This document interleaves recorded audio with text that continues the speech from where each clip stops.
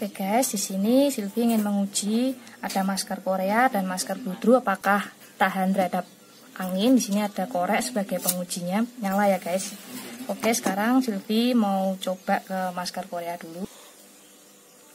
Dan ini ada korek, Silvi nyalain. Oke, nggak goyang, nggak mati ya guys. Sekarang Silvi sebul. Oke, Silvi sudah sebul dan apinya nggak goyang dan nggak mati. Sekarang Silvi mau ganti yang masker bludru. Ini Silvi juga sudah lapis dengan tisu dua. Silvi coba pakai.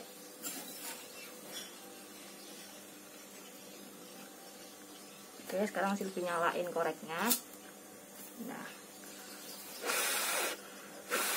sama ya guys, apinya nggak goyang dan nggak mati. Ini berarti masker Korea dan masker bludru cocok bagi kalian karena bisa menahan angin dari dalam.